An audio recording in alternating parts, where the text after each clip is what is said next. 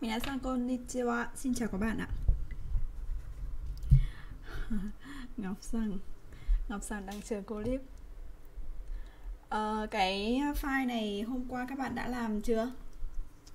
Hôm qua mình đăng cái file này Mình đăng luôn cái phần đáp án ấy Sau khi các bạn làm xong các bạn có check không? Có check lại cái phần đáp án xem là mình đúng được bao nhiêu phần trăm không ạ?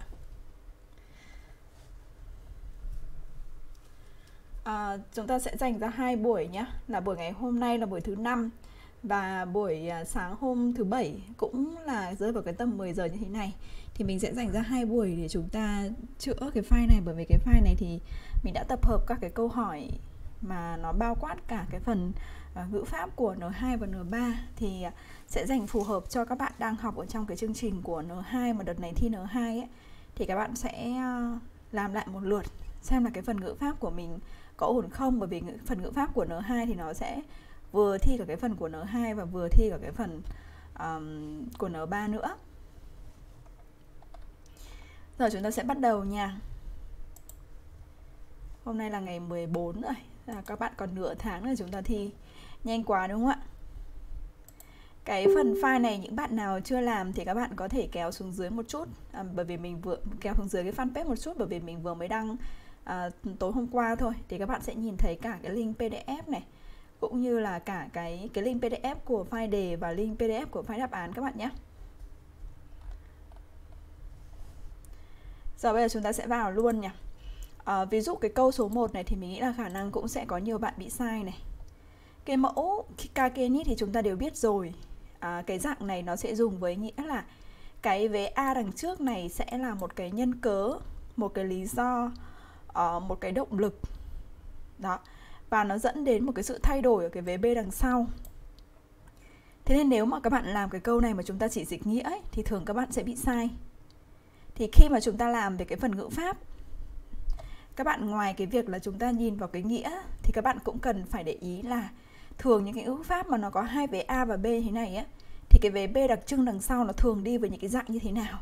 Ví dụ như là vế B đằng sau thường đi với những cái dạng không có ý chí này hay là vế B đằng sau thường đi với dạng thể hiện sự thay đổi này hay là về B đằng sau thường đi với những dạng phủ định này, thì khi mà chúng ta học các cái mẫu ngữ pháp mà cái B đằng sau nó có cái đặc trưng như vậy thì các bạn phải để ý nhé thì câu này cũng vậy, chúng ta không thể dịch về cái mặt nghĩa được, mà chúng ta hiểu rằng cái B đằng sau nó sẽ là một cái sự thay đổi, hoặc là những cái quyết định lớn, một cái sự thay đổi lớn.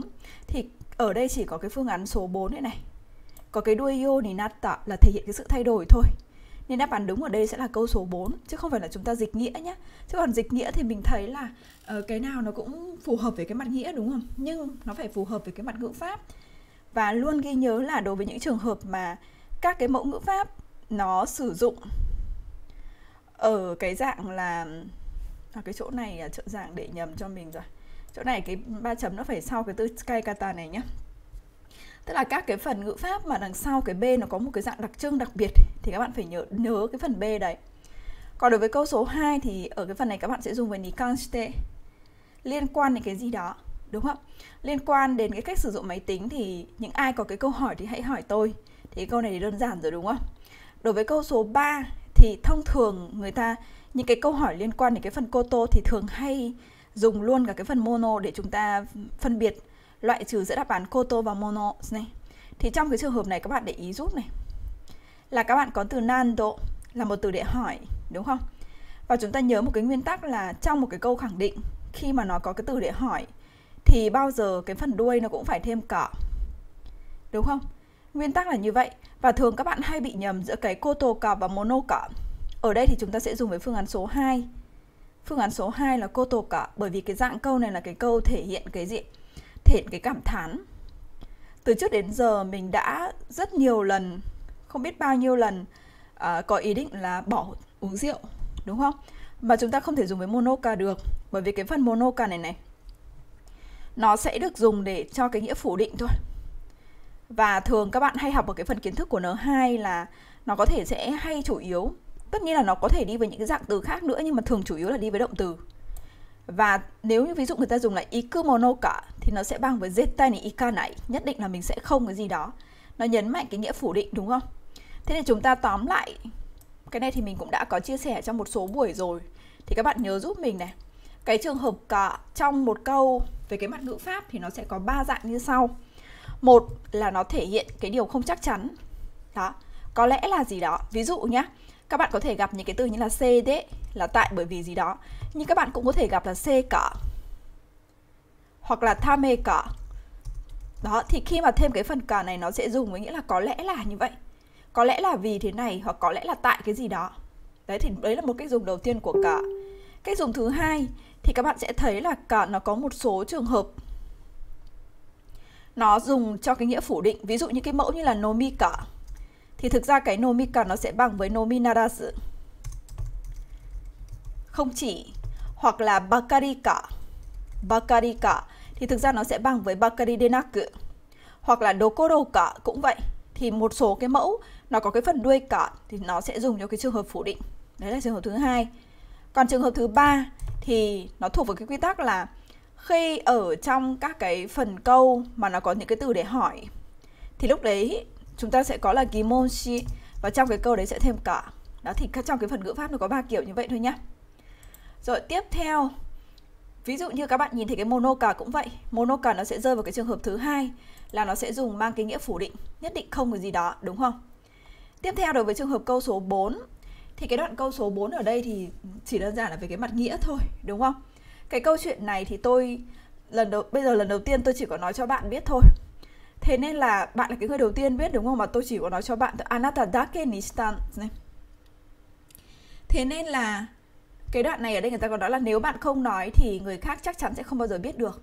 Thì cái phần này nhấn mạnh phủ định thì các bạn sẽ dùng với cô này cô này, nhấn mạnh phủ định còn shikanai động từ đứng trước này, sẽ chia về nguyên mẫu cộng với shikanai không còn cách nào khác, chỉ còn cách đó. Hoặc là cái hokawa này cũng vậy. Còn với ra điều e này là buộc phải làm cái việc gì đó, đúng không? Tiếp theo trường hợp câu số 5 thì đây là ôn lại cái dạng ngữ pháp của N3 thôi. Thối yêu yori, thì chúng ta đã học cái trường hợp là so sánh hơn là A yori, B nếu hồ ga tức là cái B nó sẽ hơn cái A cái B nó sẽ hơn cái A. Thì cái trường hợp là thối yêu yori thì nó cũng chỉ đơn giản là gì? Không phải là A đâu, mà đúng hơn là B cơ. Đấy. Thối yêu yori là không phải là A đâu, mà đúng hơn là B. Còn karai bảo, thì từ một cái gì đó để mình nói ra những ý kiến, những cái căn, từ một cái căn cứ nào đấy để mình nói ra những ý kiến, những cái đánh giá thì không đúng. Karaite cũng vậy. Thì ở đây các bạn sẽ dùng với toyoto nhắc đến du lịch thì người ta nghĩ ngay đến một cái gì đó. Ví dụ Yamada san mà nói đến du lịch thì chắc chắn là sẽ, ờ, cậu ấy sẽ đi onsen đúng không? Tiếp theo là trường hợp câu số 6 này. Thì câu này thường có thể nếu mà sai á là thường có thể sẽ bị sai giữa cái trường hợp 1 và trường hợp 4 trường hợp 1 và trường hợp 4 nhé. À, tại sao mà cái trường hợp 4 chúng ta không sử dụng được? Lý do bởi vì như thế này. Cái động từ wataru. Các bạn cứ comment cái phần đáp án nhé à, cái mục đích của cái phần file tổng hợp này để mình ôn tập tổng hợp lại các cái phần ngữ pháp cho các bạn đặc biệt là với những bạn đang học ở cái chương trình của N3 và N2 nhé wataru thì chính xác là nó là cái từ kanji này. Và nó sẽ dùng để nghĩa là trải rộng. Tức là đứng trước nó phải là những cái danh từ những cái từ chỉ phạm vi. Phạm vi ở đây có thể là trải rộng trên cái phạm vi về số lượng về thời gian. Ví dụ 3 ngày 3 tiếng. Hoặc là phạm vi về không gian, ví dụ như ba cây số, đó, nó phải có con số hoặc ví dụ như là ừ, mấy lần chẳng hạn, nó cũng là có số lần, đó là cái phạm vi còn trong cái câu này thì cái đây chỉ là cái con đường thôi, con phố thôi tức là nó chỉ là một cái danh từ, không phải thuộc về cái phạm vi nên các bạn không thể dùng với watate được, mà các bạn phải dùng với sote là dọc theo cái con đường này thì có rất nhiều những quán đồ, quán bán đồ ăn, đúng không? Tiếp theo đến câu số 7 này. Câu này thì chúng ta cùng nhìn nha uh, câu này đã từng thi rồi đâu các bạn để ý. Thực ra cái từ nó nó nó thuộc về từ vựng thôi nhưng mà nó cũng xuất hiện ở trong cái phần thi về ngữ pháp. Ở đất nước này thì dân số cái dân số này là riêng dân số tính tại cái thời điểm cái thời điểm cái thời điểm hiện tại mà người ta tính ấy. Tức là cái con số này nhá Cái con số này không phải là con số của bây giờ Mà con số của cái thời điểm hiện tại ngày xưa Tức là cái lúc mà người ta làm cái bản điều tra này là tháng 1 năm ngoái. Đó Thì trong trường hợp này nó không phải là bây giờ theo cái Bởi vì đằng trước nó đã là gì? Nó đã là à, năm ngoái rồi thì không thể dùng với im mạng được Bởi vì cái từ im mạng nó chỉ dùng cho cái hiện tại hiện hữu thôi Jiki là cái thời kỳ hoặc là jikan là rời thời gian thì không đúng. Thì câu này các bạn sẽ nhớ này, chúng ta sẽ dùng với genzai. genzai này nó sẽ đi sau những cái mốc những cái mốc mốc này hoàn toàn có thể dùng trong quá khứ để chỉ cái thời điểm mà người ta thực hiện cái vế b đằng sau thường là những cái điều tra những cái khảo sát là cái thời điểm này. Ví dụ như là tại cái thời điểm tháng 1 năm ngoái thì cái dân số của đất nước này là ở cái con số như thế này thì các bạn sẽ phải dùng với genzai chứ chúng ta không dùng với jiki jiki là nó sẽ dùng cho cái thời kỳ. Cái thời kỳ tức là thời kỳ là gì? Thời kỳ tức là nó phải trải rộng nó phải kéo dài ví dụ như là uh, cái thời kỳ phát triển ví dụ cái thời kỳ phát triển thì cái thời kỳ phát triển sẽ từ năm bao nhiêu đến năm bao nhiêu đó. Đúng không? Hoặc là ví dụ như là cái uh, uh, thời kỳ uh, cái cái thời điểm mà người ta nhập học chẳng hạn. Đấy nyugaku no jiki thì cái jiki này thực ra nó sẽ bằng với từ kikang là cái quãng thời gian đó. Nó áng áng ở cái mức độ đấy. Và nếu mà nói jiki thì nó phải là từ cái mốc nào đó đến cái mốc nào đó. Nhưng mà cái câu này là cái con số người ta thống kê tại cái thời điểm đấy nhá nên các bạn sẽ phải dùng với phương án số 2 chứ không phải là cái phương án số 4 hoặc là phương án số 1 đâu. Chúng ta ghi nhớ là như vậy. Và cái từ genzai này nó có thể đi sau những cái danh từ chỉ cái mốc thời điểm trong quá khứ để chỉ cái thời điểm đấy là cái thời điểm người ta thực hiện cái vế B đằng sau này này. Tiếp theo đến câu số 8. Thì đoạn câu này ở đây các bạn nhìn nha. À, ở đây thì chính là cái dạng ngữ pháp gì ạ? Giới hạn. Đúng không? Giới hạn với 100 khách hàng thì chúng tôi 100 khách hàng ở đây là trong tổng số những cái vị khách mà gửi Hagaki đến thì bây giờ chúng tôi sẽ chọn ra 100 người và chúng tôi giới hạn 100 người này để chúng tôi tặng quà. Đó, có nhiều bạn nghĩ là genzai là hiện tại nên không dùng trong quá khứ đấy. Đấy, đấy là cái lý do mà chúng ta bị sai ấy. Đấy là cái lý do mà chúng ta bị sai và đấy cũng là một trong những cái cái điểm khác biệt cái điểm khác biệt giữa cái trường hợp mà chúng ta dùng với ima và genzai này. Đấy là một trong những điểm khác biệt mà chúng ta dùng với ima và genzai. Thì cái cái ima thì nó chỉ dùng cho cái hiện tại thôi. Nhưng cái genzai thì nó có thể đi sau những cái từ chỉ thời gian để chỉ cái thời điểm đó đúng không? Người ta thực hiện cái hành động đấy. Thì cái thời gian đấy có thể là dùng cho cái thời gian trong quá khứ bình thường. À, mình đang nói dở cái phần liên quan đến kagiri thì bây giờ mình sẽ tổng hợp luôn cho các bạn. Thực ra học N2 ấy ờ, có một số cái mẫu mà khá là đau đầu. Ví dụ như cái mẫu liên quan đến Luake mẫu liên quan đến Kagiri, mẫu liên quan đến Ue, mẫu liên quan đến Mono, đúng không? Thì chúng ta cần phải tóm gọn lại xem là cái dạng sắc thái của nó gồm những cái gì. Thực ra cái Kagiri thì xuất phát từ cái động từ Kagiru mà thôi, đúng không? Kagiru này nó có nghĩa đầu tiên là giới hạn. Thế nên là các cái mẫu ngữ pháp nó sẽ dùng với nghĩa là giới hạn cái gì đó. Ví dụ, giới hạn với 100 người hoặc là giới hạn trong những cái nguồn thông tin mà tôi biết được Kagiri. Hoặc là uh, giới hạn ví dụ riêng cái đối tượng đó những cái khác thì không biết nhưng mà riêng cái đối tượng đấy thì không bao giờ làm cái việc đó. Thì cái trường hợp đầu tiên nó có thể chia ra nhiều nhánh nghĩa nhưng đều chỉ dùng cho cái trường hợp là giới hạn. Còn trường hợp thứ hai thì các bạn có thể gặp kagiri bởi vì kagiri nó nằm trong cái từ là genkai. Ví dụ khi mà các bạn đến đến một cái mốc nào đấy đỉnh điểm và các bạn không thể chịu được được nữa, tức là cái mốc nó cao nhất. Mô ghen cày tức là đến cái mức cao nhất rồi tôi không gaman deki này tôi không thể chịu được được nữa. Thế nên cái kagiri nó còn được dùng cho một cái trường hợp nữa là hết cái mức có thể, tức là cái mốc cao nhất. Ví dụ như là dekiru kagiri. Dekiru kagiri, nhé. Đó thì cái kagiri nó chủ yếu là nó dùng cho hai cái trường hợp như vậy. Một là cái giới hạn. Và các bạn sẽ thấy này, đối với những cái trường hợp là giới hạn, ví dụ ở trong cái câu này thì người ta không không chia về kagite lý do bởi vì như sao bởi vì thường những cái dạng như thế này á, nó là những cái thông báo tại những cái nơi công cộng. Ví dụ thông báo dành cho khách hàng. Đó, thế nên là chúng ta vẫn nhớ cái nguyên tắc là khi mà một động từ nối với một động từ tiếp theo, thì cái đầu tiên là cách nói dân dã nhất là các bạn sẽ dùng với vt nhưng cách nói thứ hai là chúng ta sẽ chia về vmas bỏ cái đuôi mas đi. Và đây chính là cái trường hợp thê nê hơn. Nên thay vì dùng với kagite, người ta sẽ dùng với nikagiri còn trong những cái câu, ví dụ như riêng con nhà tôi thì không bao giờ làm cái việc đó, thì cái đối tượng đấy à, cái cái văn nói của nó lại ở cái mức độ xuồng xã đúng không? Thì lúc đấy người ta lại sẽ dùng chỉ gì? Uchinoko ni kagite chứ lại không phải là kagiri. Đấy là cái lý do tại sao. Và thường nghĩa của cái kagiri nó chủ yếu nó có thể chia ra thành rất nhiều nghĩa nhưng mà chủ yếu nó chỉ tóm gọn ở hai cái mặt nghĩa đấy thôi. Một là giới hạn hai là hết cái mức có thể. Này thì trong câu này các bạn sẽ lựa chọn phương án số 3 tiếp theo đối với trường hợp câu số 9 là mình nhờ anh giải giải thích cho mình một cái bài tập toán mà mình どうしても解けない này không thể nào giải nổi nhưng mà ngược lại thì, đó. Tức là mình làm a nhưng mà cái kết quả nó không được như mong đợi nó ngược lại ngược lại thì mình lại càng không hiểu hơn. Thì đáp án ở đây nó sẽ phải là câu số 3 rồi, còn đối với câu số 10 này, thì các bạn nhớ cái từ body này, body ni cái từ body này á, thực tế nó nằm trong cái từ là body body chính là tỷ lệ. Thì các bạn sẽ có hai vế. Body này nó sẽ dùng vế đằng trước về a và về b thì nó sẽ dùng với nghĩa là a và b ở cái tỷ lệ không có tương xứng với nhau. A và B ở cái tỷ lệ không tương xứng với nhau. Ví dụ ở đây đắt nhưng mà nó không tương xứng. Bình thường đắt thì sẽ phải ngon đúng không? Thì cái không tương xứng ở đây sẽ là gì? Không ngon. Đó, chúng ta cứ nhớ là như vậy. Nên đáp án đúng ở đây sẽ là umakuto wa ye nai nhé. Còn những trường hợp còn lại này techo và nai là nhấn mạnh rất vô cùng thì không đúng. Hoặc là ngon là cái chuyện đương nhiên hoặc là umai cũng là đều là cái nội dung sai đúng không? Tiếp theo nha đối với câu số 11 này thì câu này các bạn sẽ dùng thay thế ở đây bằng cái từ nikawatte Bây giờ tưởng gì? Một sensei mới đang dạy thay cho sensei nhập viện. Nikawatte này. Rồi tiếp tục đến cái trường hợp câu số 12.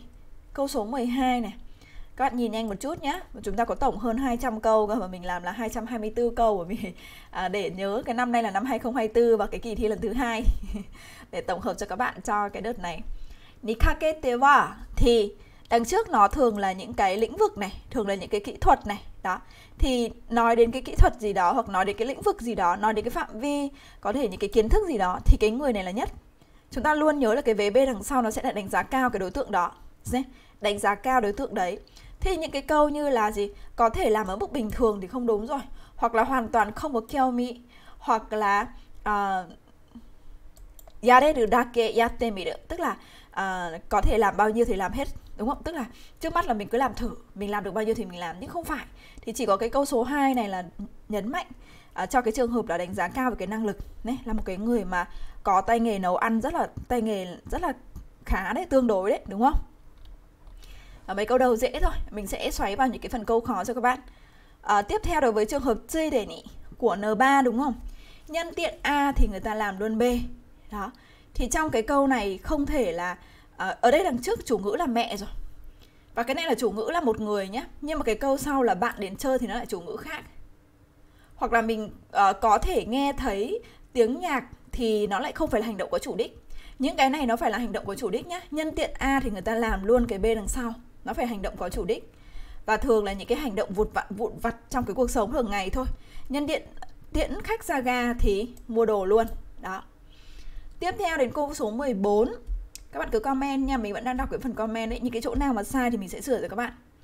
Câu số 14 ở cái đoạn này thì các bạn thấy yoninata là một cái sự thay đổi Tức là một cái kết quả về đằng sau. Đúng không? Là hajimete hitobito ni shirareru yoninata, lần đầu tiên được mọi người biết đến.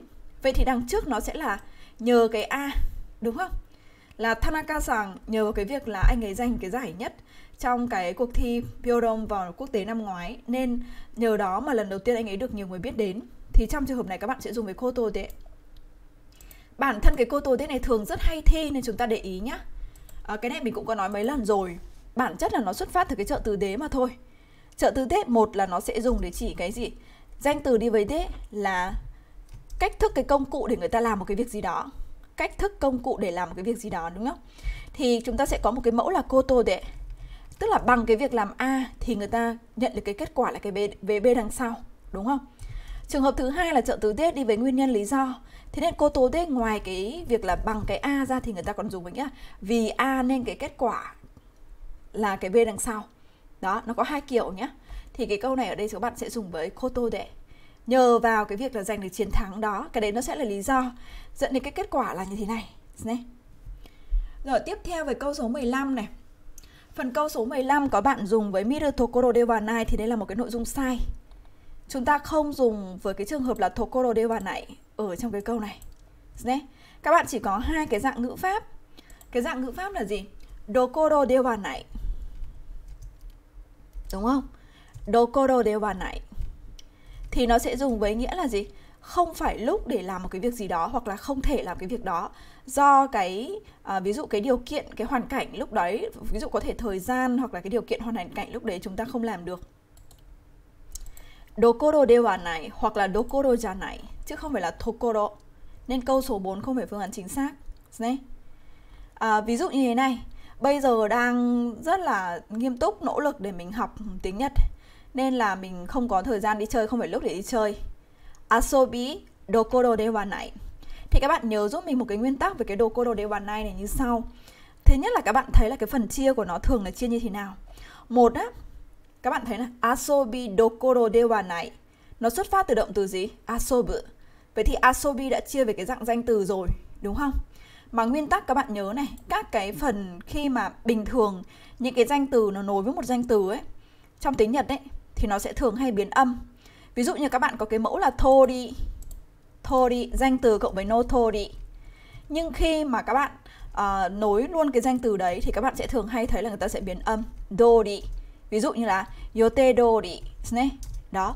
Rồi sau này các bạn cũng có thể áp dụng cái quy tắc này đối với những cái trường hợp mà nó là cái hậu tố ở phía sau nó cũng biến âm ví dụ như thế này nha chúng ta có cái động từ là hanade là xa rời cái gì đó và các bạn sẽ có một cái hậu tố là danh từ cộng với banade ví dụ trong cái đề thi vừa rồi là uh, giới trẻ ngày càng xa rời về cái việc đọc sách. Dokusho banade đó bởi vì sao? Bởi vì lúc này nhé chúng ta biến thành cái hanade chính là chúng ta đã biến nó thành danh từ rồi. Mà dokusho là một danh từ nên người ta sẽ phải biến âm thành banade thì nhờ cái nguyên tắc đấy đối với hai danh từ ghép với nhau trong tiếng Nhật thì thông thường nó sẽ có kiểu biến âm. Thì cái mẫu dokoro dewa này tại sao nó lại không phải là tokoro mà nó là dokoro? Là bởi vì cái phần chia ấy. Cái phần chia của nó thì một là người ta sẽ dùng ở cái dạng gì? Một là người ta có thể dùng một cái dạng động từ chia về thể uh, jishoke thể từ điển. Hai là các bạn sẽ biến cái động từ đấy về dạng danh từ. Ví dụ bây giờ mẹ nhập viện nên mình không thể học được. Mặc dù là trước kỳ thi nhưng mà bởi vì mẹ nhập viện nên mình bây giờ không phải lúc không có tâm trí nào để học. Testo mai nano ni haha ga nyuin shite shimatte de wa nai đó, thế nên là đây là lý do tại sao mà các bạn luôn nhớ là chỗ này nó phải biến âm. Chứ nếu mà nó không biến âm là miru tokoro de wa nai là sai nha, là sai. Nên đáp án là cái đoạn này các bạn sẽ phải sử dụng với gì? Bởi vì là cái bộ phim này dành cho người lớn, muke. Danh từ này, chỉ đối tượng cộng với muke là cái đối tượng nào đó, đúng không? Nó được sản xuất đặc biệt cho cái đối tượng đó. Nó trái lại với từ muki nha. Muki là phù hợp. Phù hợp thì nó lại không không phải đặc trưng ví dụ nó phù hợp với giới trẻ nhưng nó cũng có thể phù hợp với người khác. Còn muke là gì? Đặc biệt dành cho đối tượng đấy thôi. Thế nên là trẻ con xem thì cũng rất là chán thôi đúng không chả xem chả hiểu gì đâu. Thì các bạn sẽ phải lựa chọn với phương án số 2 nhé. Còn đối với trường hợp câu số 16 này thì cái phần này các bạn có là watashi ni wa Danh từ chỉ người đi với dạng như vậy để đưa ra những cái đánh giá nhận xét. Với bản thân tôi thì như thế nào đó, thực ra thì nó cũng gần giống với trường hợp là các bạn dùng với ní tốt tê thôi. Thì câu này ở đây là mình đã chơi thử cái game mà đang rất là hot, đang rất là hot trong giới trẻ. Nhưng mà mình với bản thân mình thì mình thấy là mười đi chịu không chơi được. Này. Còn những cái đoạn sau thì nó sẽ không phải là cái phần đưa ra đánh giá. Ví dụ có tuổi hay là quá trẻ hay là mình có thể tận hưởng thì không phải à, có thể tận hưởng thì lại bị sai bởi vì cái chỗ này của chúng ta là monono thì đưa ra hai cái trái ngược mà đúng không tiếp theo các bạn đến với câu số 17 nhá câu số 17 ở cái đoạn này này thì cái kế hoạch của Tanaka san nó rất là độc đáo. Vậy thì cái đoạn này sẽ là một danh từ thì chúng ta dùng với mẫu là karashite karashite nó sẽ đi sau một danh từ từ một cái gì đó. Và cái vế b đằng sau sẽ là cái đánh giá tổng thể. Từ cái ý tưởng thôi đã thấy rất là độc đáo rồi đúng không còn với câu số 18 thì đoạn này ở đây là tôi sẽ quyết định cái phương châm từ giờ trở đi, tức là những cái phương châm sau này.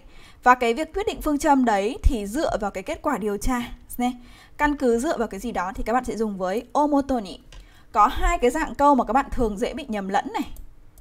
Đó là motozuku. Motozuku ghép từ cái, từ là motozuite. Và trường hợp thứ hai là motoni. Đó. Thì hai cái này là hai cái trợ từ khác nhau. Nếu như các bạn dùng với motozuite thì nó xuất phát từ cái động từ motozuku. Thì cái trợ từ đằng trước sẽ là danh từ đi với trợ từ nhí. Còn nếu mà các bạn để là moto nhị thì đằng trước nó sẽ là danh từ đi với trợ từ ô. Đúng không? Danh từ đi với trợ từ ô moto nhị. Bởi vì sao? Bởi vì bản chất của cái moto ở đây, lúc này chúng ta coi cái moto này như là một danh từ rồi. Thì nó sẽ vẫn đi theo cái công thức là coi cái danh từ N1 là cái N2 Nisuru. hoặc là tosuru đúng không? Nên là hai cái này các bạn phải để ý về cái phần trợ từ nó khác nhau nha. Tiếp theo đối với trường hợp câu số 19 này. Câu số 19 ở đây thì à, cái dạng này là cái dạng về tôn kính ngữ và khiêm nhường ngữ. Nguyên tắc của cái việc làm tôn kính ngữ và khiêm nhường ngữ là đầu tiên các bạn phải xác định xem là cái hành động đấy là của ai. Đúng không? Thì đoạn này nhá, để biết được cái hành động đấy của ai thì mình sẽ phải nhìn cái cái phần đuôi này. Một cái bài đông bư một cái luận văn mà luận văn này thì do giáo sư Ueda viết. Đấy, tức là cái phần này ông này không phải là chủ ngữ của cái hành động vẽ sau. Vậy thì đoạn này phải là gì? Khiêm nhường ngữ. Tôi đã đọc trên tạp chí cái bài luận văn đó. Này, thế là mình sẽ biết là nó là khiêm nhường ngữ rồi. Thì khi mà biết là khiêm nhường ngữ sẽ loại câu số 2 bởi vì số 2 là tôn kính ngữ.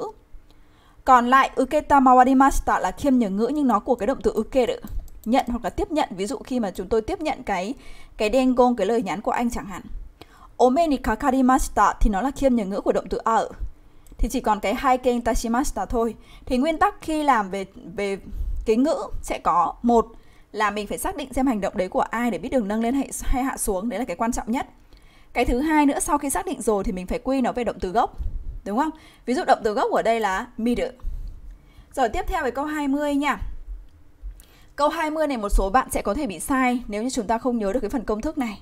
Nhé. Kết quả của cuộc bỏ phiếu đã quyết định. Quyết định là chọn ông Yamada làm chủ tịch Kaicho nhé. Thì các bạn cứ nhớ cái công thức này cho mình và một số buổi clip thì mình cũng đã nói về cái phần này. Cái công thức này nó rất là quan trọng. Công thức này rất quan trọng. Nếu không à, nó sẽ liên quan đến nhiều những cái công thức khác nữa ở N2. Các bạn nhìn thấy cái trợ từ của chúng ta đây là trợ từ ô nhé trợ từ đây là trợ từ ô thì các bạn sẽ có này danh từ thứ nhất n1 cộng với ô cộng với danh từ thứ hai cộng với tố sự thì ở đây chúng ta sẽ dùng dịch với những trường hợp như sau. Coi cái n1 là cái n2 hoặc chọn n1 là n2 đúng không? Thực ra cái danh từ n2 người ta có thể biến đổi cái danh từ này các bạn có thể biến đổi rất là nhiều. Ví dụ coi phụ nữ là đối tượng chủ yếu. Coi cái này là mục tiêu. Coi cái này là cái uh, ví dụ như là coi cái tiếng Nhật uh, coi việc coi tiếng Nhật là mục tiêu chẳng hạn. Nihon no benkyo mukuteki to suru. Đúng không? Trong chỗ này các bạn không thể dùng với naru được. Bởi vì sao? Bởi vì chúng ta cũng có cái tố naru đấy. Tố naru thì nó sẽ tương đương với trường hợp của ni naru trở nên trở thành. Nhưng nó ở cái dạng là gì? Bị động. Tức là gì? Mình được trở thành như vậy hoặc tự nhiên nó trở thành như vậy, động từ không có ý chí, trong khi cái trợ từ của chúng ta đấy là trợ từ ô nên cái mẫu số, cái cái số 2 này không thể dùng được đâu nha và thường các bạn sẽ hay bị nhầm cái phần này, vì vì không để ý đến động từ và nhớ cái công thức này coi cái n1 là cái n2 nhé đó nên đáp án ở đây nó sẽ phải là phương án số 1 và tại sao mình nói là nó sẽ liên quan đến rất nhiều? Bởi vì bản chất gốc của chúng ta chính là cái mẫu là gì? À, danh từ cộng với tố sự coi rằng là cho rằng là ngoài cái phần danh từ nó có thể dùng cho cả một cái cụm nhé thì từ đấy các bạn có thể chuyển cái tố sự này thành những cái dạng mẫu gì? Nếu giả sử cho rằng là nếu giả sử coi rằng là đấy chính là mẫu gì ạ? Tố shitara tố sureba tố suruto đúng không? Hoặc dù có cho rằng là như thế nào đó, thì nó chính là cái mẫu gì? Tố shitemo bản chất tất cả nó đều xuất phát từ cái phần tố sư sự này ra mà thôi. Và rất nhiều những cái mẫu ngữ pháp sau này chúng ta gặp cũng ở cái phần này nữa, nhé. Rồi, tiếp theo đối với trường hợp câu số 21 thì câu này các bạn có là cái công ty người quen ấy, thì bây giờ cái tình hình kinh doanh có vẻ rất là khó khăn.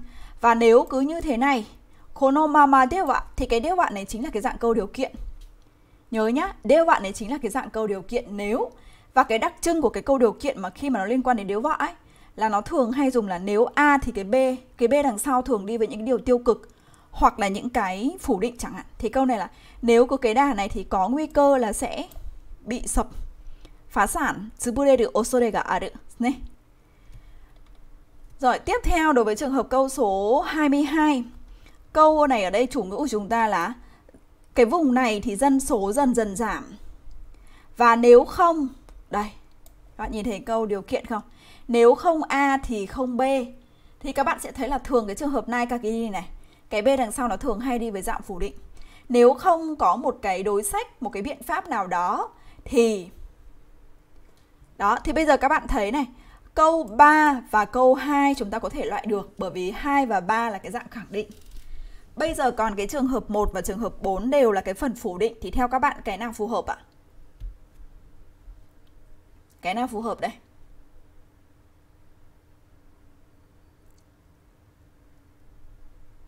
À, có bạn chọn là phương án số 1, có ai chọn phương án số 4 không ạ? Naranai Dado. Chắc chắn là cái 4 sai đúng không? Bởi vì sao? Bởi vì Naranai thì chứng tỏ nó là Naru. Mà Naru thì nó chỉ đi với những dạng gì thôi? Ní Naru hoặc là tô Naru trở nên trở thành thôi. Trong khi cái chủ ngữ của chúng ta đây nó không phải là trở nên trở thành. Cái việc đó là cái điều không bao giờ có. Chứ không phải là trở nên trở thành, bởi vì nó có trợ từ võ ở đây, làm sao mà trở nên trở thành được, đúng không? Nên cái chỗ số 4 này là sai mà các bạn phải dùng với số 2. Cô tô và nãy không bao giờ có cái chuyện là thì đoạn này là nếu như không có một cái biện pháp nào đó thì sẽ không có lẽ là không bao giờ có cái chuyện là tương lai cái vùng đất này dân số sẽ tăng. Công của một phía được cô wa nai đà độ chứ không phải naranai nha. Bởi vì các bạn nhớ là naranai là ní na mà chỗ này cái trợ từ đằng trước là trợ từ vạ. Rồi tiếp theo đến cái phần câu này nữa. Đôi khi chỉ một cái ý nhỏ nếu mà các bạn không để ý có thể sẽ bị sai. Thì câu này ở đây là Yamamoto san một hôm đột nhộ, đột nhiên là anh ấy nghỉ việc công ty và làm cho những người xung quanh rất là bất ngờ. Đó. Odorokaseta, odorokaseru là làm cho bất ngờ. Thế nhưng mà nếu mà suy nghĩ về cái tính cách của anh ta thì cái điều đấy là điều mà chúng ta hoàn toàn có thể hiểu được, đúng không? Đó. Thì bây giờ mình phải đi tìm một cái là có thể. Nhưng mà cái đoạn này ở đây này, cái số 1 là không cái số 3 cũng là có vẻ như là không thì là sai. Chỉ còn lại cái số 2 và cái số 4 thôi. Thì cái dạng ngữ pháp này của chúng ta là người ta sẽ phủ định cái trước cộng với nay. Không hẳn là không, tức là có thể. Thế nhưng mà ở đây ấy, các bạn không thể sử dụng với đi cai sơ được. Nếu mà các bạn chọn câu số 2 thì sẽ là nếu mà suy nghĩ từ cái tính cách của anh ta thì sẽ hiểu thì không đúng. Mà là gì? Nếu suy nghĩ từ cái tính cách của anh ta nghĩ về cái tính cách của anh ta thì đấy là một cái điều mà có thể hiểu được. Dekinaku wa nai thì nó sẽ bằng với dekiru. Nhé.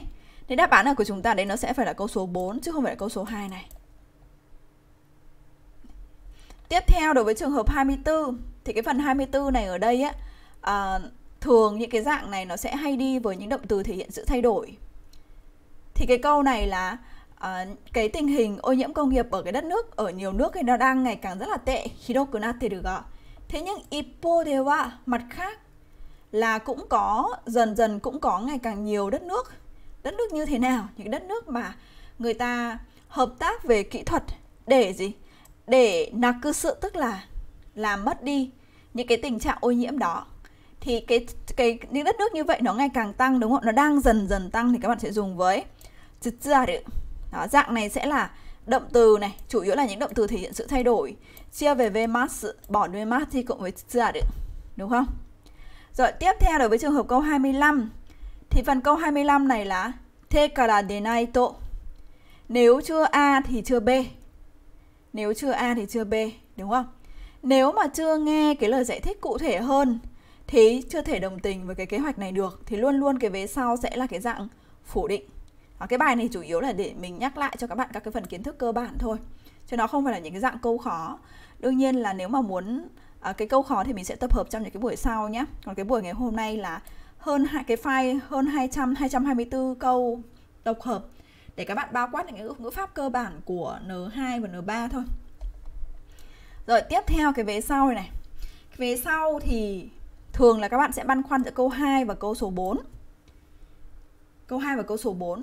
Cái câu này đây là tôi không có thích đồ ngọt lắm. Tối tê mỏ. Tối tê mỏ nó sẽ dùng với nghĩa là gì? Hai cái vế sẽ tương phản với nhau. Đúng không? Tối tê mỏ.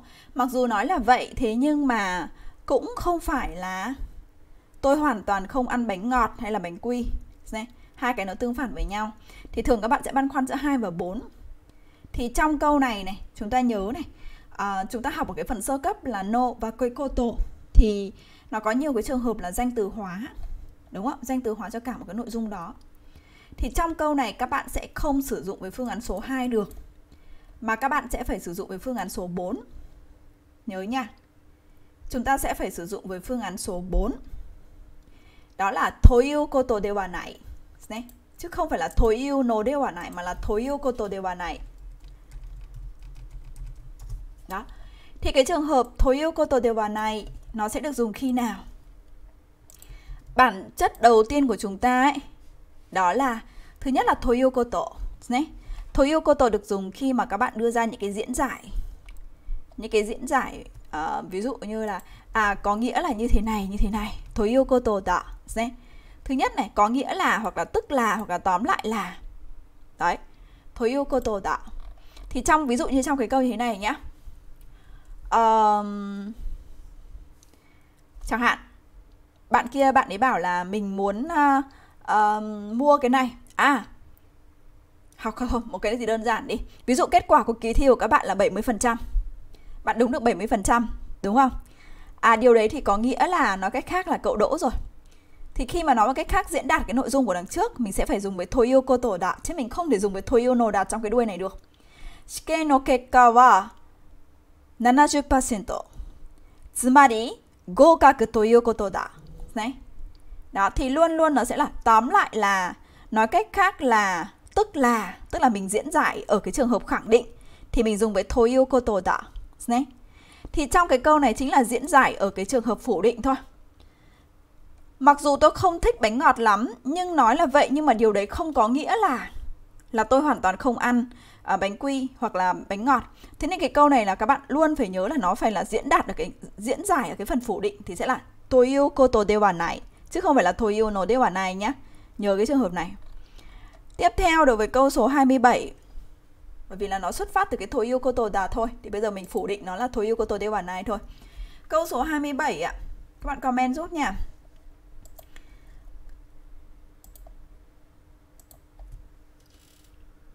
Câu số 27 ở đây.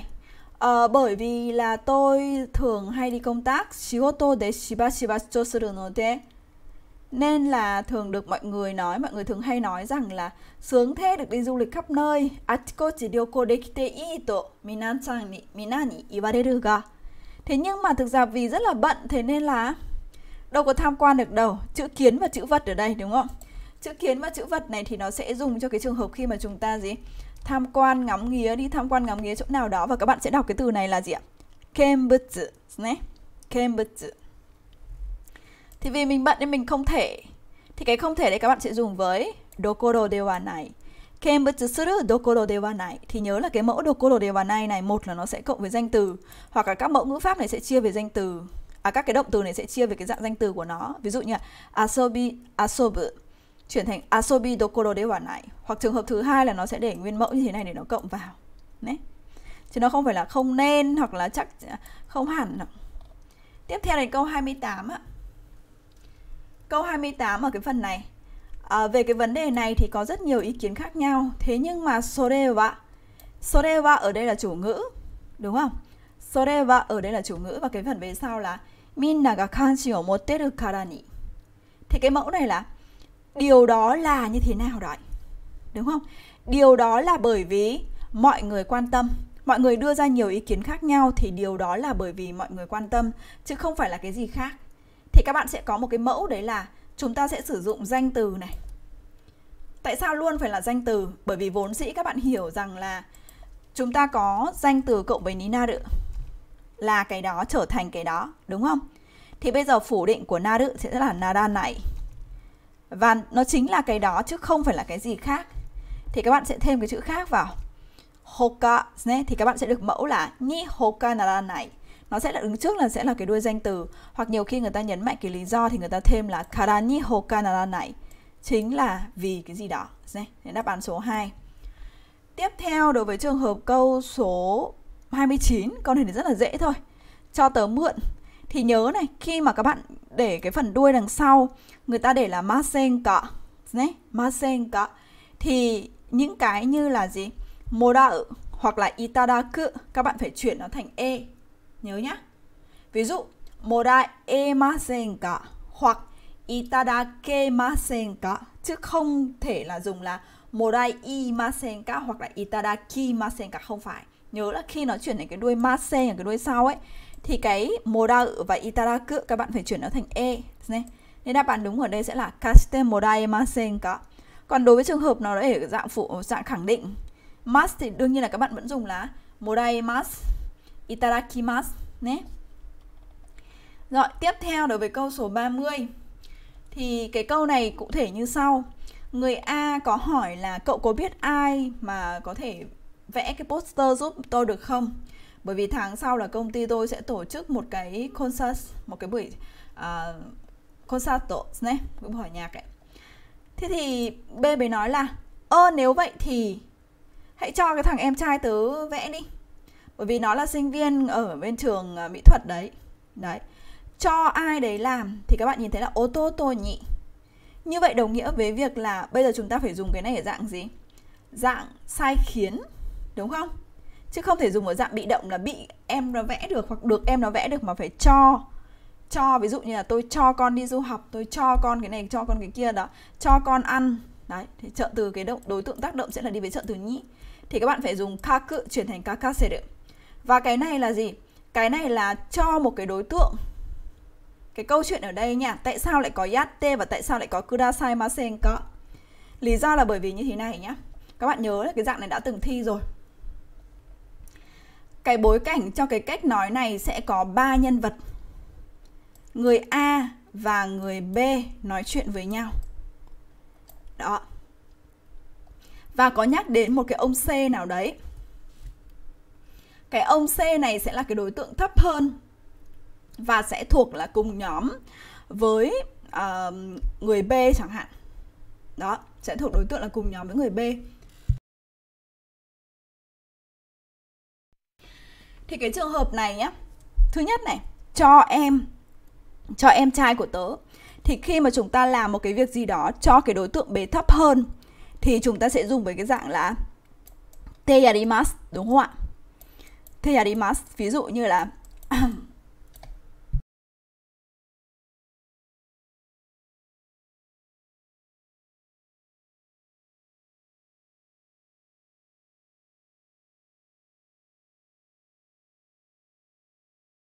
ví dụ như là mình à, mình tưới nước cho cây, mình à, cho thú cưng ăn, rồi mình làm cái gì để cho bạn mình.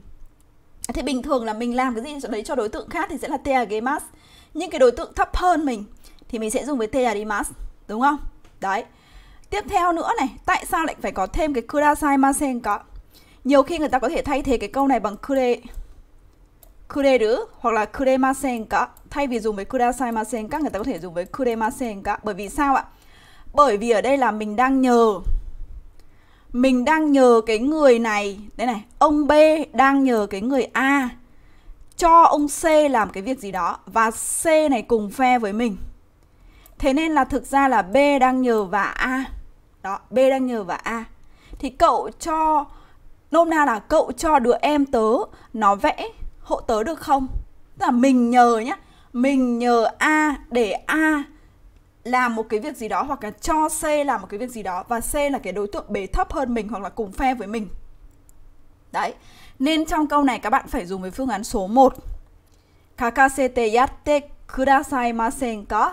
Hoặc các bạn có thể dùng ở cái trường hợp nó ít lịch sự hơn một chút là gì? Kakasete yatte kuremasen ka?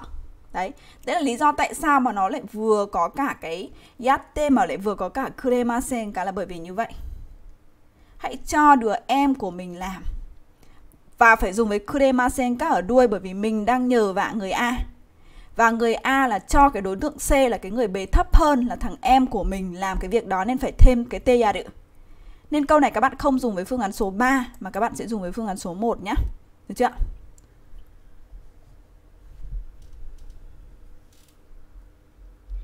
Tiếp theo chúng ta sẽ đến với trường hợp câu số 31 này.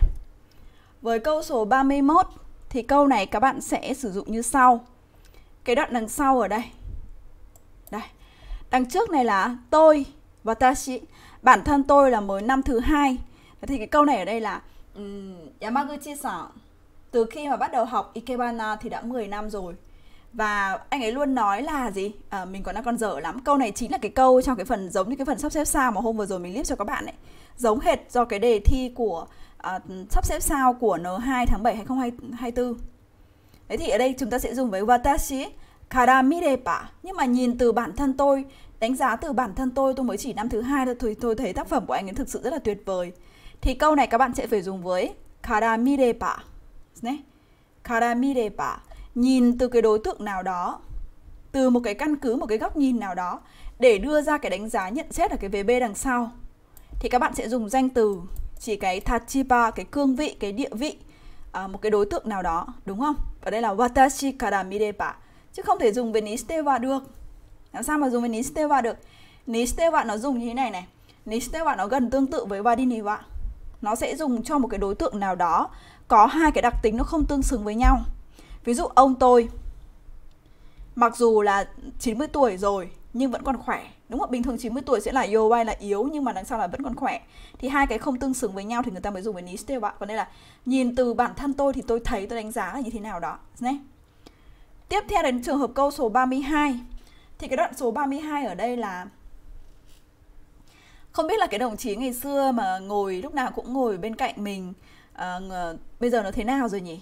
Imagoro doshite irun daro và sau cái năm tốt nghiệp thì tôi chỉ gặp anh ta có một lần thôi và kể từ đấy là không có gặp nữa đúng không?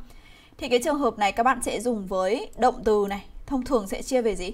Dạng quá khứ cộng với kirida thì có rất nhiều bạn thì thường hay hỏi là cái sự khác nhau giữa teidai và te, và cái trường hợp là vetakiri là gì? Thì nó khác nhau như thế này nhé đối với trường hợp teidai thì các bạn nhìn cái từ idai này. Idai này có chữ dĩ đúng không? Chữ dĩ này các bạn sẽ thường hay thấy là gì? Cái chữ dĩ này các bạn thường hay thấy là dùng khi mà người ta đánh một cái dấu mốc. Ví dụ ika là từ một cái mốc nào đấy trở xuống. Ijo là từ một cái mốc nào đấy trở lên. Cô là từ một cái thời gian nào đấy trở đi. Đấy. nên cái chữ dĩ này thường là đánh dấu một cái dấu mốc. Người ta gọi là chữ dĩ ấy. thế thì ví dụ đây là một cái à, đây mình mình vẽ một cái cái trạng về quá khứ hiện tại, tương lai của chúng ta như thế này. Đây là hiện tại nhá. Đây là hiện tại và có một cái hành động nào đấy xảy ra tại một cái thời điểm trong quá khứ là một hành động A. Tức là tôi uh, có con. Và kể từ khi có con cho đến bây giờ thì có một cái trạng thái thay đổi. Đấy là tôi uh, không có la cả nữa. Tôi về nhà thẳng. Đấy. Thì cái trường hợp đấy các bạn sẽ phải dùng với ti này là kể từ A này này thì có một cái sự thay đổi B nào đấy tính cho đến hiện tại. Cái chữ like này là cái động từ cư đự là tính cho đến hiện tại, đúng không? Thế nên là sau cái TI like người ta có thể dùng cho cái sự thay đổi hoặc là nên là nó có thể dùng ở dạng cả câu khẳng định hoặc là cả câu phủ định. Một cái trạng thái nào đấy cứ kéo dài. Ví dụ kể từ khi gặp anh ấy một lần sau đấy không gặp nữa thì vẫn dùng với TI line được bởi vì cái trạng thái kéo dài là không. Nhưng riêng cái thằng Kiri ấy thì lại khác riêng cái thằng Kiri lại khác Kiri nó luôn luôn đằng sau đó là gì là phủ định ví dụ à, đi ra ngoài buổi sáng đi ra khỏi nhà dekaketa kiri thì người ta chỉ cần dừng chấm lửng đến đấy mình biết là nó chưa quay về. Bởi vì bản chất kiri là thực hiện cái hành động đấy và không có hành động lặp lại. Thực hiện đấy là xong là thôi luôn. Ví dụ gặp lần đấy và xong đấy là không bao giờ gặp nữa. Và bởi vì cái kiri này luôn đằng sau nó là cái phần phủ định. Thế nên là có những cái trường hợp người ta có thể lược đi. Người ta có thể lược đi và chỉ chấm lửng cái phần kiri đi Thì chúng ta biết là gặp nhau một lần đấy và kể từ đấy giờ không có gặp nữa. Còn cái idai á, thì nó không nhất thiết phải luôn luôn là phủ định. Nó có thể là một cái trạng thái thay đổi.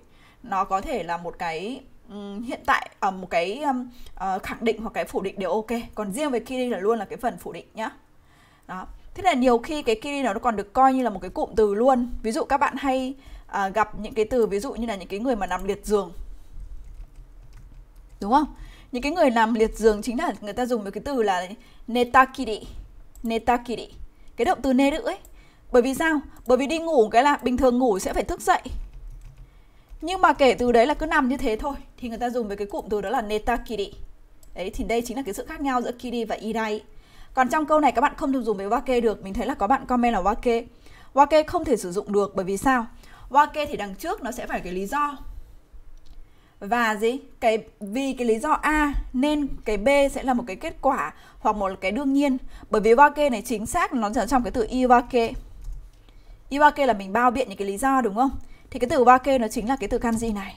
Khi người ta diễn giải, người ta lấy cái lý do, ví dụ, cái sự chênh lệch múi giờ của Nhật Bản là, với Việt Nam là 2 tiếng. Bây giờ, Việt Nam là 11 giờ suy ra bên Nhật bây giờ là ichiji ni naru wake đấy đúng không?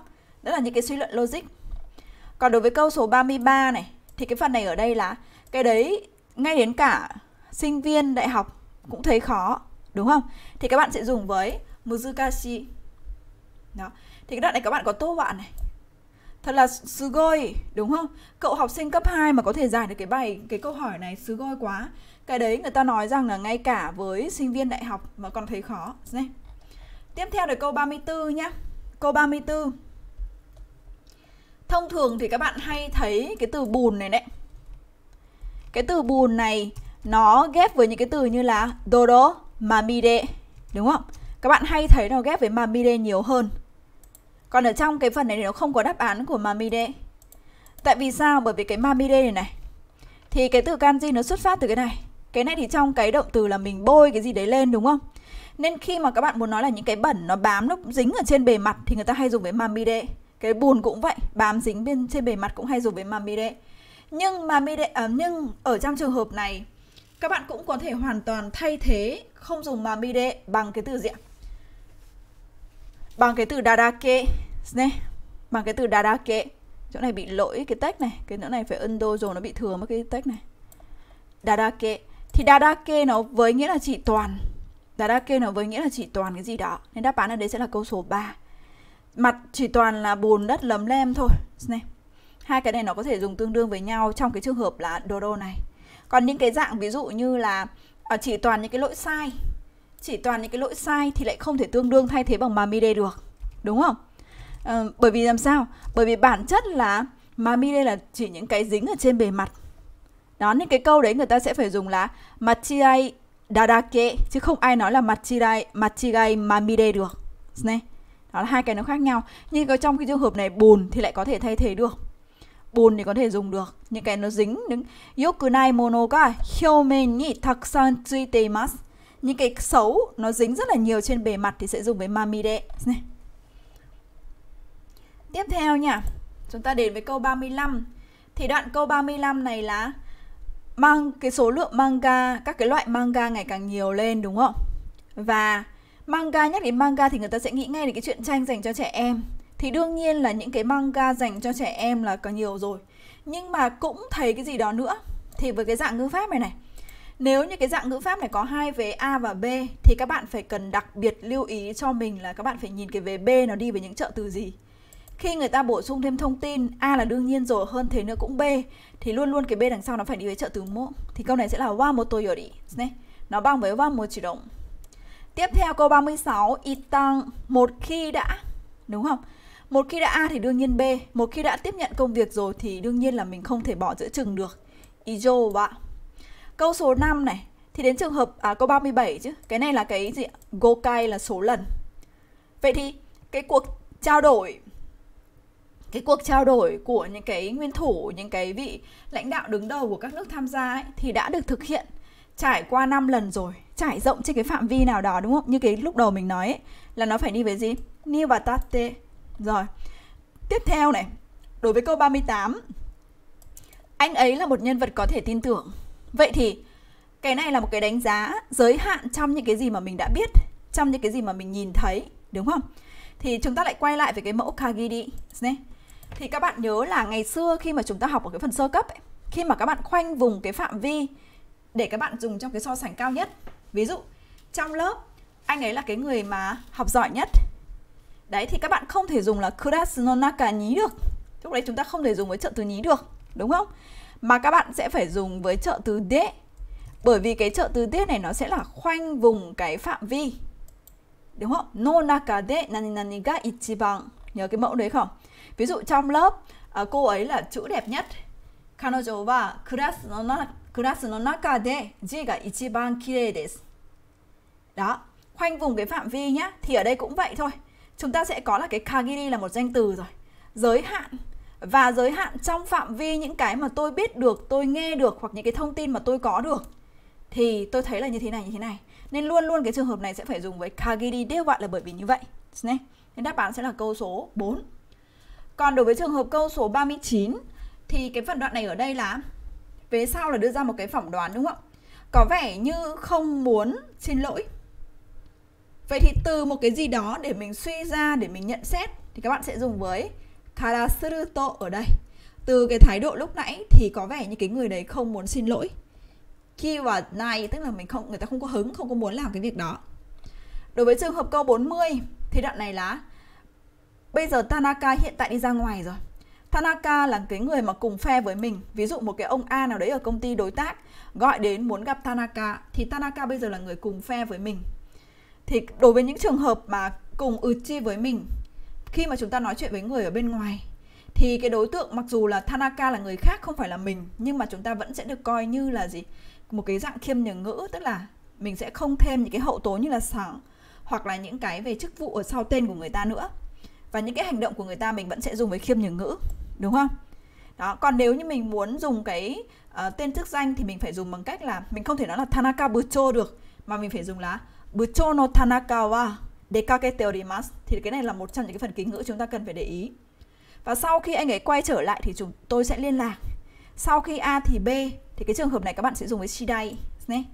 Thì có bạn sẽ hỏi là, thế thì nó khác như thế nào giữa shidai và cái ue đó, shidai thì nó là cái hành động hiện tại nó chưa xảy ra.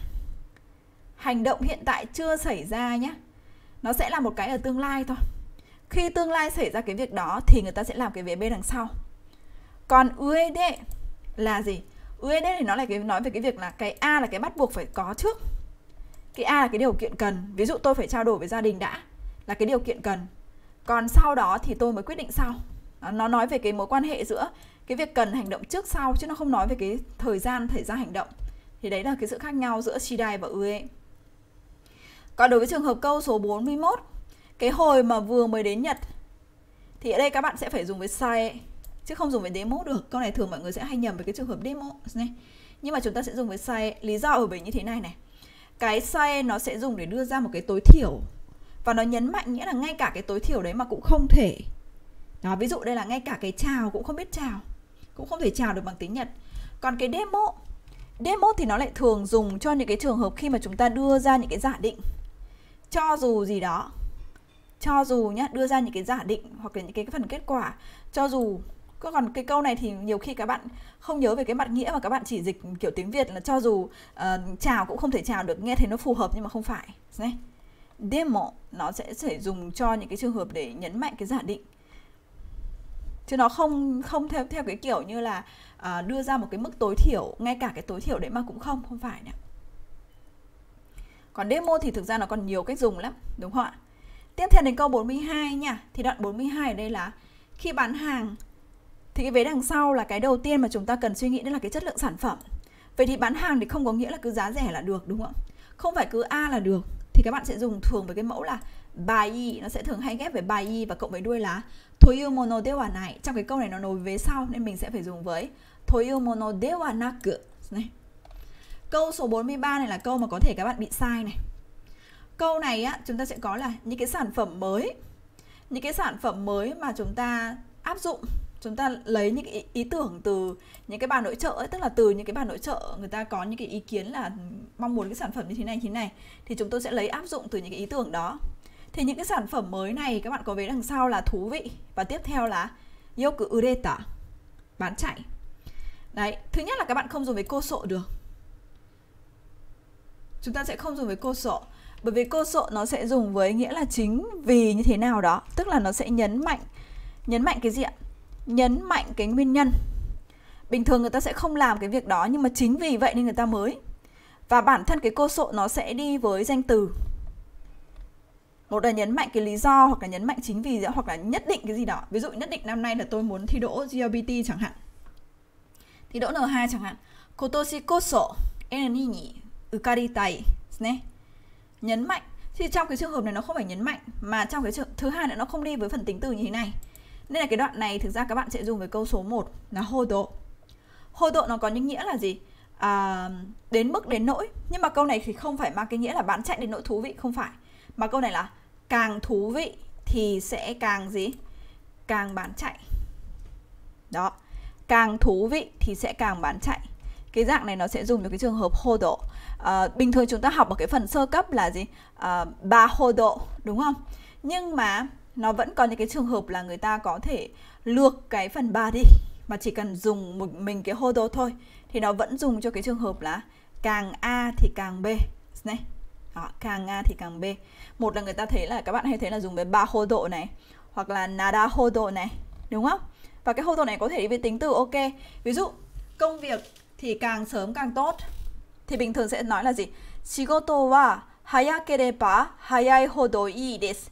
Nhưng mà các bạn có thể lược bớt đi và chỉ cần nói là shigoto wa hayai hodo ii desu. Đấy, hayai hodo ii desu. Hoặc là uh, nhà càng gần ga thì càng đắt. Đó. Thì mình cũng có thể lược cái bà đằng trước đi mà mình chỉ cần dùng là yachin wa. Yachin là giá nhà đúng không ạ? Yachin wa eki kara chikai hodo takaku narimasu Đấy. nhiều người đang nhầm cái câu này và chọn sai thì đáp án ở đây sẽ là câu số 1 tiếp theo này à, cái về sau người ta có nói là đi du lịch nước ngoài nó giống như là một giấc mơ vậy. Thì vào cái thời đó vào cái thời đó ở trong cái thời đó thì các bạn sẽ dùng với nioite và đặc trưng của cái phần nioite này á là nó sẽ đi sau những cái danh từ chỉ thời điểm này ở đâu đó hoặc là những cái chỉ cái bối cảnh lĩnh vực hoặc là những cái về thời ví dụ như là um, không ờ, địa điểm nữa đấy ở cái thời đó. Chứ các bạn không dùng với ni atate và được. Ni atate và thì thực ra cái ataru này á nó chính là cái động từ ataru này này là cái chữ đương. Tức là nó sẽ dùng với nghĩa là nhân cái dịp gì đó vào cái dịp đó. Chúng mà tức là mình vào cái dịp đó thì như thế nào đấy. Còn ở đây là ở trong cái thời đại đó ở trong cái thời đó thôi. Nên các bạn không dùng với atate mà phải dùng với nioite. Và atate thì thường dùng cho những cái bối cảnh nó trang trọng hơn một chút. Ví dụ nhân dịp mà à, uh, konski chẳng hạn đúng không? Tiếp theo đến câu số 45 thì đoạn 45 ở đây là sau khi a thì làm b. Cái a là cái điều kiện cần thiết bắt buộc phải làm đầu tiên. Thì sau khi nghe kỹ từng cái phần giải thích thì sẽ gì? Muốn là sẽ chọn xem là cái course nào tức là cái cái gói du lịch nào nó phù hợp và bắt buộc phải nghe kỹ yêu cực khi tàu để đối với câu số 46 này 46 ở đây là má demo đến cả cái trang phục cũng được cũng được coi, cũng được chọn là cái giai điệu handan, giai điệu giai điệu bình thường là nguyên liệu, đúng không? Nguyên liệu, ví dụ nguyên liệu để nấu nướng, thì đây chúng ta sẽ hiểu là đến cả cái trang phục cũng được coi được coi, được chọn là một cái tiêu chí để chúng ta đánh giá đấy. Vậy thì cái năng lực là cái đương nhiên rồi, đúng không?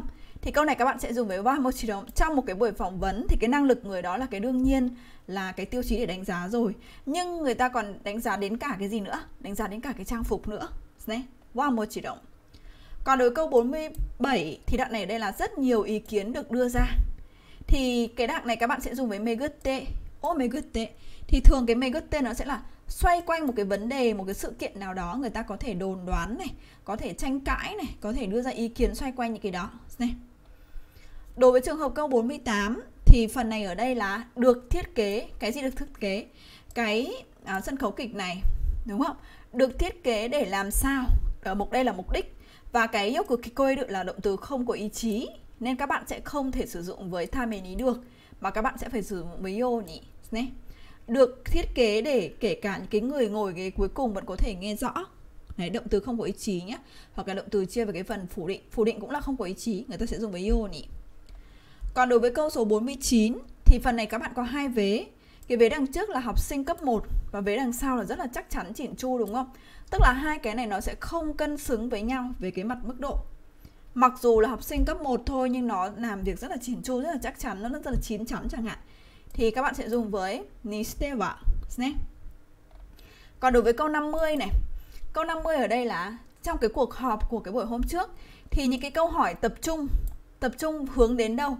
Tập trung hướng đến cái phần giải thích của anh ta. Thì cái đoạn này các bạn phải dùng với nitaiste và rất nhiều người hay bị nhầm này. Cái nitaiste thì các bạn nhìn thấy chữ đối này. Đối này nằm trong cái từ taisho là đối tượng. Đúng không? Thế nên các bạn sẽ dùng cái cách dùng đầu tiên đấy là một danh từ đi về nitaiste. Thì đằng sau nó sẽ là những cái hành động, những cái cảm xúc hành động hoặc cảm xúc, hành vi hướng đến cái đối tượng này. Ví dụ câu này là các cái câu hỏi tập trung hướng đến cái phần giải thích của anh ấy, đúng không? Đó, hướng đến nhé. Còn trường hợp thứ hai là cái chữ đối này nó nằm trong cái từ là taiditsu là đối lập. Đó. Thế nên là các bạn sẽ thấy là nó được dùng trong cái mẫu là A là như thế này, nhưng trái lại ní tai T lại B lại một cái đối lập khác. Đấy, thì tai T nó chỉ dùng hai trường hợp đấy thôi. Còn đối với câu 51 cái phần này ở đây thì chúng ta có là vật giá tăng và về sau là cái sinh hoạt nó không được thoải mái. Skoshi laku ni naranai thì cái vật giá tăng nó sẽ là cái lý do dẫn đến cái sekatsu wa skoshi raku ni naranai cái chỗ này nhiều người hay bị nhầm là vui nhé, nhưng mà cái từ raku ở đây không phải nghĩa là vui tức là mình có thể thoải mái thư thả đúng không? Thì đây là chỉ vì chúng ta sẽ dùng với bakari chỉ vì a nên dẫn đến một cái kết quả b và thông thường b nó sẽ là những cái gì? Thể hiện cái uh, gọi là những cái kết quả mang tính chất tiêu cực. Này. Còn shidai shidai ni thì không đúng bởi vì sao? Bởi vì nếu mà các bạn dùng shidai ni với nghĩa là dần dần ấy, thì nó là phó từ. Dần dần nó đi về những từ chỉ sự thay đổi nhưng mà uh, đằng sau nó là những cái gì? Là động từ chỉ sự thay đổi. Ví dụ dần dần tăng shidai ni agaru chứ không ai nói là agaru shidai ni được, đúng không? Tiếp theo, đối với trường hợp câu 52 chúng ta sẽ nốt cái câu 52 này nha. Bình thường các bạn chỉ học cái mẫu là uchi chi thôi. Nên là nhiều người cứ đóng khung ở trong cái phần ngữ pháp và có mỗi cái uchi chi thôi. Đến lúc người ta dùng là uchi chi ga, uchi chi wa, rồi uchi chi no các kiểu là không biết được, không biết là nó biến đổi như thế nào. Thì bản chất này, uchi đây là một danh từ và nó là cái chữ nội này nội này với nghĩa là giới hạn nội trong cái khoảng thời gian đó, hoặc nội trong cái phạm vi đó, hoặc là nội trong cái trạng thái đó, đúng không? Thì bản thân nó là một danh từ thôi. Thì khi mà các bạn muốn biến nó thành một cái cụm từ độc lập thì mình sẽ để là uchini. Nhưng khi mà các bạn muốn biến nó thành một cái gì? Chủ ngữ, đúng không? Thì mình có thể thêm cái trợ từ á. Ví dụ, trong lúc mà đang còn trẻ thì, đó, cái này sẽ là chủ ngữ.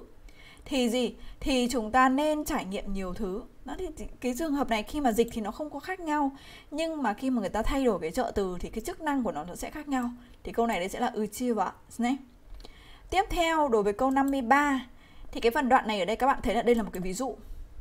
Cái công ty này, họ bán rất nhiều atsukateru Cái động từ atsukau này này. Atsukau thì nó có rất nhiều nghĩa. Và một trong những nghĩa của nó là nó dùng với trường hợp là người ta xử lý những cái công việc chuyên môn.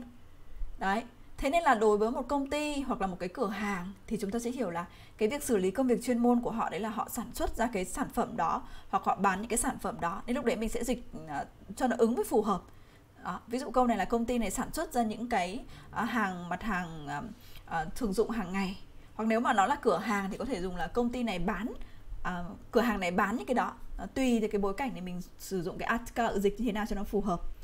Thì đằng sau các bạn có là có rất nhiều, đúng không ạ? Samazama. Thì cái đằng trước này người ta liệt kê ra là tháo rự sen dày, nhé. Thì đoạn này các bạn sẽ dùng với tối tạ. Tối tạ. Thì chúng ta nhớ là có hai cái này. Một là thôi ưu. Thôi ưu. Hai là thối tạ. Bản chất hai cái này, mình cũng có nói một số lần là nó đều sẽ là đứng trước một danh từ để bổ nghĩa cho danh từ đó. Nhưng nó sẽ khác nhau. Đối với trường hợp thôi ưu cộng với danh từ thì cái mục đích của thôi ưu để diễn giải cho cái danh từ đó. Ví dụ cái trường đại học trường đại học gì? Trường học đại học tên là Sakura chẳng hạn. Sakura Toyo Daigaku thì nó là diễn giải cho ý nghĩa cho cái N đấy. Còn đối với Toyota thì nó sẽ là gì? À, đưa ra cái ví dụ cho cái N đấy. Ví dụ rất nhiều những cái mặt hàng thường dụng hàng ngày chẳng hạn như là thì nó đưa ra ví dụ nhé thì hai cái này nó sẽ khác nhau một chút. Đối với trường hợp câu số 54 thì cái đoạn này này chúng ta cố nốt câu 54 về câu 55 sau đấy chúng ta nghỉ nhé bởi vì hai cái này cũng là hai cái câu khó này. À, bình thường thì chúng ta chỉ học những cái mẫu như là yo nhỉ. Cứ như thể là đúng không? Hoặc là yo na nếu đằng sau nó là một danh từ. Hoặc là yo đã nếu như mà nó là kết thúc câu đúng không? Đó. Thế thì bây giờ các bạn sẽ hiểu là gì? Bản chất của cái yo này này bản chất của cái yo nó dùng là yo na, hay là nó dùng là yo da hay là nó dùng là yo nhĩ, là tùy vào cái cái đằng sau nó, đúng không? Nếu như đằng sau nó là động từ thì mình sẽ để là yo nhĩ, hoặc đằng sau nó là gì tính từ mình sẽ để là yo nhĩ. Bởi vì lúc này cái yo nhĩ được coi như là một phó từ để gì? Để bổ nghĩa cho cái tính từ hoặc cái dạy cái động từ phía sau. Hoặc nếu như đằng sau nó là danh từ thì mình sẽ để là yo na để bổ nghĩa cho cái danh từ phía sau còn nếu kết thúc câu thì nó sẽ là yo đó. Thì như vậy chúng ta sẽ được hiểu như cái yo này thực chất nó là cái gì. Thực chất nó sẽ là giống như cái uh, tính từ đuôi na ấy. Tính từ đuôi na hoặc là danh từ ấy đúng không? Mà khi mà chúng ta nối chúng ta không có bổ nghĩa gì về sau cả. Những trường hợp người ta dùng là yona hay là yoni thì nó phải bổ nghĩa cho cái vế sau đúng không? Nhưng ở đây chúng ta không có bổ nghĩa gì cho cái vế sau cả tức là nó là hai cái vế độc lập mà chúng ta nhớ cái nguyên tắc là khi một cái danh từ hoặc một tính từ đôi na, nó ở hai cái vế độc lập và bây giờ mình ghép lại với nhau. Ví dụ, tôi là người Việt Nam, tôi là du học sinh. Mình có thể tách hai câu nhưng bây giờ mình ghép lại một câu. Watashi wa Betonamujin de ryugakusei desu. Đúng không? Cái đấy là của N5 thì như vậy ở đây các bạn sẽ có một cái mẫu đấy là yo de. Các bạn sẽ có một cái mẫu là yo de. Thì cái yo de này nó sẽ tách hai cái câu độc lập này và mang cái nghĩa là trông có vẻ là a, thế nhưng mà thực ra như thế nào đó trông có vẻ là a nhưng thực ra như thế nào đó nhé ví dụ, anh ấy trông có vẻ là rất là bình tĩnh, nhưng thực ra lại là một cái người hấp tấp vội vàng nhé đó, thì các bạn nhớ được cái mẫu này. Yo đệ nó hoàn toàn đứng độc lập luôn và không bổ nghĩa gì cho cái vế sau cả. Và sẽ dùng để hai cái đối lập. Trông có vẻ là a, nhưng thực ra là b. Còn yo de wa thì không đúng, bởi vì sao? Bởi vì nếu là yo de wa thì lúc đấy các bạn lại dùng với câu điều kiện rồi. Nếu, hôm sau chúng ta sẽ gặp với cái câu này. Cái này không đúng nhá. Hoặc là yo là đã nếu tiếp theo đối với trường hợp câu 55 này. Thì câu 55 này, chúng ta nhớ là khi mà chúng ta gặp một cái người bạn lâu mà ngày không gặp ấy, thì các bạn sẽ chào cái câu là Hisashiburi ne Hisashiburi desu ne Lâu rồi mới gặp lại bạn. Hisashiburi desu ne ne Thì chúng ta sẽ có cái từ buri này. Thì như vậy các bạn sẽ có một cái cách dùng như sau. Chúng ta sẽ có một cái từ chỉ khoảng thời gian chúng ta sẽ có một cái từ chỉ khoảng thời gian cộng với buri ni, và đằng sau là những cái sự việc. Để chỉ nghĩa là sau một cái khoảng thời gian đó thì mới gì? Thì mới lặp lại cái hành động đó. Giống như câu là lâu rồi tôi mới gặp lại bạn ấy. Thì cái câu này ở đây cũng vậy. Là do bão, thế nên là tàu là gì? Dừng, không có chạy được, không có thông, không chạy được. Và sau 10 tiếng, nghe nói là sau 10 tiếng thì đã bắt đầu vận hành lại thì cái này sẽ dùng là sau bao lâu mới thực hiện lại cái hành động đó này đó các bạn sẽ dùng với budini à, ờ, giống như những cái câu mà chúng ta hay nói là ờ, sau mấy năm thì mới về quê mới về nước ấy. Đấy, cái ngữ pháp này dùng rất là nhiều luôn á. À, ngoài ra nếu mà các bạn học ở cái N2 N1 thì các bạn còn thêm một cái cách dùng nữa của Budi nhưng mà ở đây mình chỉ đang nói với một cái thể là về thời gian thôi Đấy. ví dụ như là sau 5 năm rồi mới về nước thì thấy là rất là bất ngờ bởi vì là quê hương đã thay đổi hoàn toàn. Đó câu này nói như thế nào? 5 năm về nước thì đầu tiên 5 năm sẽ là gì? Gonen buri ne thì đây sẽ là gonen buri ni kikoku shimashita nhưng mà bây giờ mình muốn nối nó hại thành hai cái. Mình, hai câu mình muốn nói thành một thôi. Là sau khi về nước thì mình bị bất ngờ bởi gì? Bởi quê hương đã thay đổi hoàn toàn. Đấy, ghép cái câu đấy đi bình thường bất ngờ là odoroku, đúng không? Thì bây giờ mình muốn nói là bị làm cho bất ngờ bởi cái hình ảnh quê hương đã thay đổi hoàn toàn. Thay đổi hoàn toàn là gì? Sukari kawarimashita, đúng không? Nhưng nó bổ nghĩa cho cái hình ảnh quê hương nên mình sẽ biến nó thành động từ beta sukari kawatta, jimoto no yosu. Yosu là cái trạng thái ấy. Mình sẽ viết ở đây cho các bạn nha. Mình ghép câu lại đi. Gonen ぶりに帰国したらですねあ態度 hoàn toàn này すっかり変わった rồi 地元地元の様子様子 là cái trạng thái đúng không ạ 様子 cái trạng thái cái hình ảnh nói chung ấy 地元の様子 và bình thường là bất ngờ odoroku này là bất ngờ bây giờ mình muốn nhấn mạnh đi mình muốn dùng là bị bất ngờ bởi cái hình ảnh quê hương đã thay đổi hoàn toàn bị làm cho bất ngờ nha thì làm cho bất ngờ sẽ là odoro kaseru. Đúng không? Odoro kaseru. Thì bây giờ mình chuyển thành là bị làm cho bất ngờ thì sẽ là odoroka serareru. Nè. Nhưng đây là cái động từ nhóm 1. Đây là cái động từ nhóm 1 thì mình có thể rút gọn nó thành gì ạ? Động từ nhóm 1 thì mình có thể rút gọn cái đuôi serareru thành là gì? Sareru. Nè. Nên các bạn sẽ biến nó thành là 驚かせる驚かせされる chứ 驚かされる đó chứ không cần phải viết dài như thế này bởi vì nguyên cả cái đuôi xê ra đây đự này này là các bạn sẽ được rút gọn đi chỉ còn lại odoroka sareru thì câu này có thể dùng là 5年ぶりに帰国したら すっかり変わった地元の様子に驚かされました。này. Rồi, à, buổi ngày hôm nay của chúng ta sẽ dừng ở đây nhé. À, còn những phần còn lại thì sẽ tiếp tiếp để chữa cho các bạn vào cái buổi ngày thứ bảy tầm khoảng 10 giờ. À, cái buổi đấy thì nếu mà các bạn rảnh thì các bạn có thể à, xem. À, cái những cái phần này thì mục đích để chúng ta tổng ôn tập lại các cái phần kiến thức cơ bản thôi. À, sẽ dành cho các các bạn ở cái đối tượng là N2 và N3 bởi vì lâu giờ mọi người cứ kêu là toàn clip N1 thôi, không có clip của N2, N3 gì cả, cũng không thích N2, N3 không phải. À, hôm nay là dành cho N2 và N3 đây. Và thêm một cái thông tin nữa là cái buổi ngày hôm nay là cái buổi ngày 14 tháng 11 thì chúng ta sẽ ngày mai là các bạn những bạn nào mà đăng ký của cái chương trình tháng 7 năm 2025 thì trong ngày hôm nay và trong ngày mai thì mình sẽ kích hoạt các cái tài khoản cho các bạn để các bạn tham gia vào cái khóa free là cái khóa được tặng kèm 30 ngày luyện đọc dịch ấy, đọc sách ấy. Nên những bạn nào đã đăng ký thì các bạn nhấn vào fanpage giúp mình để cho tư vấn ở bên mình sẽ hỗ trợ các bạn kích hoạt cái tài khoản này nhé. Để chúng ta không bị sót nên nhiều bạn cứ đăng ký xong để đấy là không nhắc là cũng quên luôn.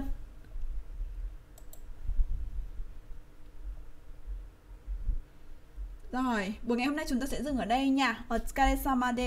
Hẹn gặp lại các bạn vào cái phần buổi thứ bảy ạ. Và sau cái buổi ngày thứ bảy thì mình à, sang tuần sau thì mình sẽ clip cho các bạn một số buổi liên quan đến cái phần về đọc hiểu và lấy cái phần đọc hiểu của um, một số cái phần đọc hiểu về cái kỹ thuật làm nhé. Otsukare-sama. Arigatou gozaimashita.